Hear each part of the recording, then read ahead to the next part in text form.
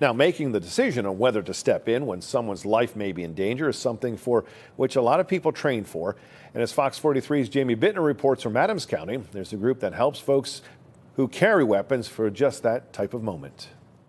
Take a drive out to Mount Joy Township, Adams County, and you'll find some Top Gun professionals. On Wednesday, they were the ones driving me out to the range, where they teach anyone how to handle any type of weapon that can kill. Lesson one. Well, the first thing that we always teach our students is keep your finger off the trigger unless you plan on using the weapon. Tripwire Operations Group trains the military and police. They also train people like you and me. It's always to uh, cease the aggressor.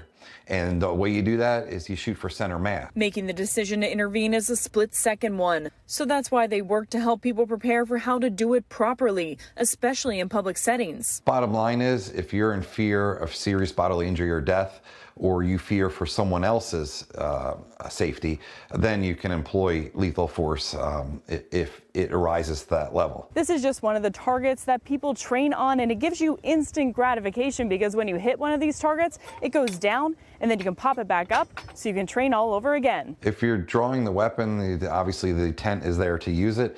When we train um, the students, we try to train them also in a stress environment um, to get their heart rates up, to make them, because uh, a lot of times it's muscle memory at that point that takes over. Without training, experts here say people won't hit targets, which can be a liability at a later time. Tripwire teaches everything from how to draw a weapon to how to shoot one. Some people are partial to a revolver type weapon, um, so you have a small frame weapon here, or even a semi automatic pistol like this. How much can a civilian maybe get in the way of a crime if they have weapons too and a law enforcement officer shows up and they don't know who the shooter is? That's very, very good point to bring up. But if you are in, engaged in some kind of um, um, adverse action such as this, you want to make sure it's clearly identified that you're not a threat, whether it be put your hands up or put the weapon on the ground or whatever. Just make sure that law enforcement knows that you're not an aggressor. In Mount Joy Township, Adams County, Jamie Bittner, Fox 43 News.